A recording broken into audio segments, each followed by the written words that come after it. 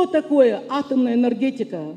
қазақстанда аэс салу бойынша жария талқылау бүгін астанада өтті. Осымен елдің жиырма өңірінде өткен қоғамдық тыңдау аяқталады. Астанадағы талқы өткен залда көбіне депутаттар мен мемлекеттік қызметкерлер отырды. Қолына аэс қолдайтын мақалы бар плакат ұстаған бір топ студент те жүрді.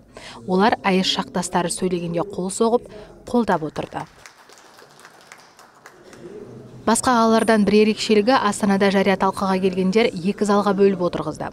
Екінші залда қарапайым тұрғын көп көрінді. Сіздерді ана залға кіргізбеді?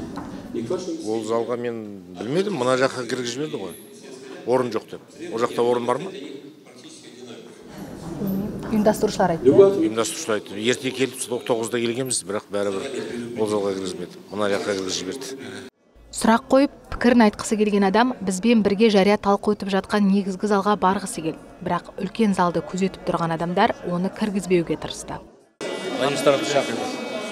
Осы сәтте негізгі залға кіре алмағаннан тағы бір топ адам шу шығарды. Мына орын алып қойды деймін маған шақырып жатыр ана жақта орын бар деп. Сендер не? Жіберіңдер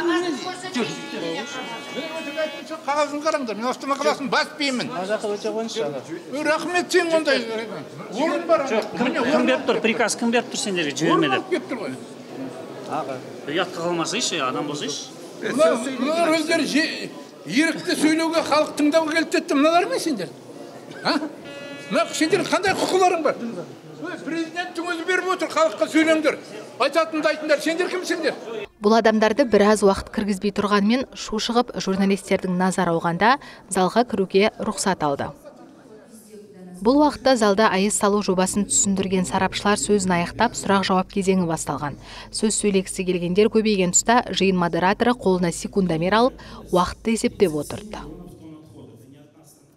Талқылауға пікірін айтуға әрең кірген астаналық белсенді нағызхан ақсақалға залда да кедергі жасалды. Ол атом электр станциясының қаупі туралы сөз бастаған еді. Әлі күнге дейін уланып ептелге жатырмыз сол мына ғылымдар соны неге айтпады? Соны неге тыймадыңдар ең әуелі? Айтып қойсаңдар осыны неге айтпайсыңдар? Сендер қазақ ұлтына ұрпағымызға жандарың ашитын адамдар болса ағайындар менің айтатыным жаңа айтып кетті. Біздің уақытың сұрағыңызды аяғына дейін айтыңыз енді жақсы. Қырық процент сонымен қазақ соқыр емес қазақ қазір сауатты қазақ біледі. Кезек жақ болсақ та мынау атом электростанциясы ұрпағының қарғысына қаласыңдар салдырмаймыз. Қазақ ұлттық сабыр сақтаңыз ағасы. Бұл бұл митинг емес қой кешіріңіз. Данышпан абай баяғыда бас басына би болған өңшең қиқым мінекей бұзған жоққа елдің сыйқын деп күңіренді. Күңірене отырып елді ауызбіршілікке шақырды. Сондықтан да бұл жердегі мынау жарылыстан көз ашпаған халықтың жанайқайын мүмкін жеткізіп те жатқан шығар. Бірақ бұл жерде біздер қазір мынау осыған тиесілі сарапшылардың ғалымдардың түсініктеме ғана ойымен емес осы халықтың да пікірімен санасқан жөн деп отырмын. Сондықтан да бұл арада даурықпа ә, дабырға емес сабырға шақырып ақылмен оймен біліммен шешу керек деп ойлаймын. Депутат сабырға шақырып жатқанда станция салуға қарсылық білдірген белсендіні залдан шығарып жіберді. Сұрақ жауап жалғасты. Аэс это самый надежный и эффективный источник энергии на данный момент который может Э, позволить повысить энергетическую стабильность нашего Казахстана.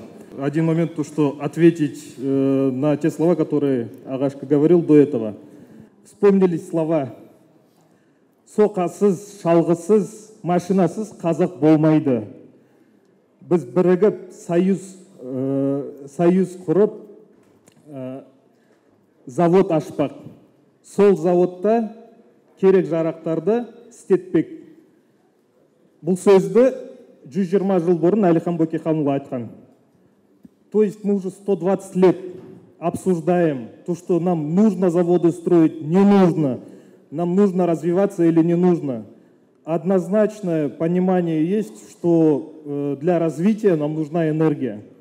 А, уважаемые э, организаторы, пожалуйста, вы э, здесь немного с, ка- проконтролируйте. Здесь крепкие ребята стоят и выдворяют, самые выступают, вроде бы подготовленные ребята.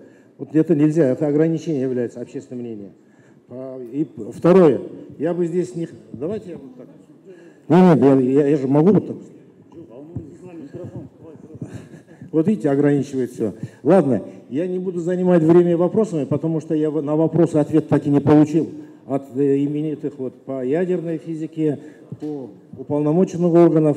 Строительство и эксплуатация атомных электростанций – это не только экологические риски и угроза здоровью народа в случае нештатных ситуаций, но и предмет шантажа в случае военной агрессии.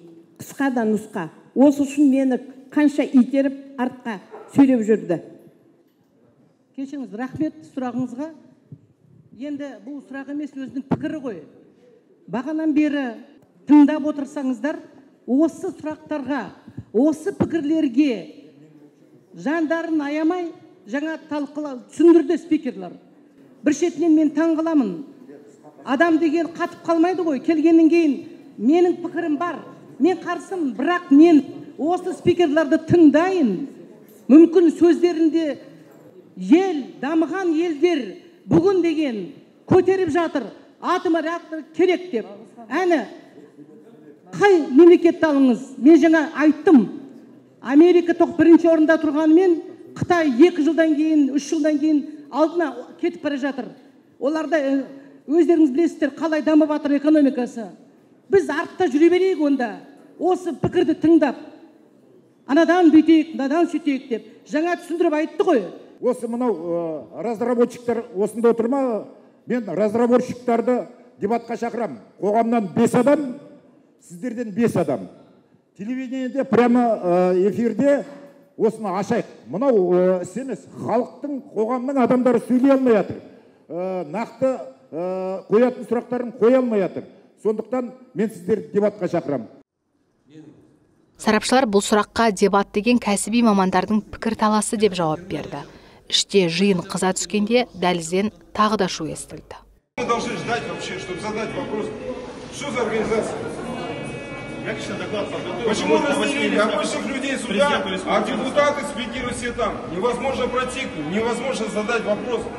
Жария талқыға келген бұл екеу көрші залдан шыққан. Сұрақ қоюға үлгеру үшін қауіпсіздік қызметінен жылдам кіргізуді өтінсе де күзетшілер бірде құжат сұрап бірде рұқсат берсін деп бөгейді. Сегіз беттік баяндама дайындап келген айтқан тұрғын станция құрылысына қарсылығын есіктің аузында тұрып айтты. Журналистерге ұзақ сұхбат беріп залға сол күйі кіре алмай қайтты. Захожу сюда, нас отправляют там, там никого нет. На восьми докладах мы подготовили возражение о том, что АЭС в Казахстане смысла нету. Давайте не забывать, мы провели в 2017 году экспорт. Возникает вопрос, зачем мы тогда два- больше двух миллиардов долларов потратили на экспорт? Когда мы говорили, будем ветровую энергию использовать, да? э, солнечные батареи будем использовать, да? возникает вопрос, деньги впустую, талқылау соңында мәжіліс депутаттары сөйлеп атом электр станциясын салуды қолдауға шақырды. Аманат партиясынан келген мәжіліс депутаты елнұр бейсенбаев қарсы топтың аэс құрылысынан қауіптенуін негізсіз деді ол жиын барысындағы қарсы сөз айтқандардың микрофонын тартып алу залға кіргізбеу сияқты кедергілерді көрсе де мәселе ашық әрі бейтарап талқыланды деп есептейді. Талқы ұйымдастырушыларынан жиында неге бәріне бірдей сөз берілмегенін сұрағанымызда журналистің өзін айыптай сөйледі. Сіз келіп мына жерден мына жерден бір ауыз сөз айтсаңыз мен шақырамын ғой оларды. Түк те жоқ. Ондай құқығыңыз жоқ қой жоқ құқығыңыз болған сіз журналистсіз. Бұқаралық ақпарат құралдары деген енді біз шын айтқанда қайсы бір келіп мына жерде бір ауыз сөз айтып жатты ғой маған жаңа ана жерде мынау сөйлеймін деп жатыр бүйтіп жатыр деп айтып тұр ғой. Сол сияқты бір ауыз көтеріп айтсаңыз мен ортада отырған жоқпын шетте отырмын ғой. Жиыннан соң ресми сайтына ақпарат жариялаған энергетика министрлігі талқы кезінде аэс-ке қарсы тарап болғанын оларға түрлі кедергі жасалғанын елеусіз қалдырған. Белсенділер мен эколог сарапшылар бұған дейінгі талқылар кезінде де бір жақты баяндамалар айтылғанын сынап жария талқы аэс-тің жарнамасына айналды деген.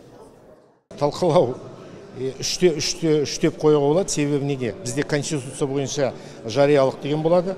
Талқылаулардың бәрі алдын ала ә, жария етілмей бір ай бұрын екі ай бұрын айтылмай тез тез жария етіліп жатыр. Және де мына қазір бүгінде кірдік мына жерге көп адамдар кіре алмай қалып жатыр. Содан кейін тағы да мынандай момент. Бәзі өзім выступлениемде айттым. Екі ақ минут беріп жатыр. Сұрақ қоюға да выступление. Өздері отыз минуттан бір сағаттан выступать етіп жатыр. Енді бұл қандай не болуы мүмкін? Жариялық болуы мүмкін? Бәріне де толық мүмкіндік беру керек. Мүмкін ол бір ай бола ма? Мүмкін бір ай талқылана ма? Бәрібір халық халықтың ішінде именно интеллигенциясы ол ғалымдар экологтар инноваторлар өзінің ойын толық айтып бітіру керек. Вот сол айтылмай жатыр қазір. Оны тыңдалып жатқан жоқ. Осындай ә, шектеулер болып жатыр. Сондықтан мен оны қанағаттандыру деп айтамын. Бұл негізі дұрыс емес. Бұл жөнінде әрине біз президент әкімшілігін ә, правительство үкіметті ә, хабардар еткіземіз что өте нашар өткізіліп жатқанын бұндай болмайды. Біздің халықтың тағдыры шешіліп жатқан кезде айттым ғой бізде не болу не болмау мәселесі тұр бұл жерде даму емес не болу болмау мәселесі тұр. Бізге өте қауіпті нәрсе. Бұған дейін жария талқы қазақстанның 19 қаласында өткен. Енді аэс салу мәселесі жалпы халықтық референдумда дауысқа салынады. Президент қасым жомарт тоқаев референдум биыл күз өтетінін айтқан. Күнін үкімет белгілейді. Станция құрылысына нақты қанша қаржы кетері әзірге белгісіз. Оның құны 12 миллиард долларға жетуі ықтимал. Қазақстан бұл қаражаттың басым бөлігін қарызға алуды жоспарлап отыр. Аэс алматы облысындағы үлкен ауылында салынуы мүмкін. Қазақстан билігі бұл жобада қай елмен серіктес болатынын әлі шешкен жоқ. Үкімет тізімінде франция оңтүстік корея қытай және ресей бар. Нұргүл тапаева ержан әмірханов азаттық.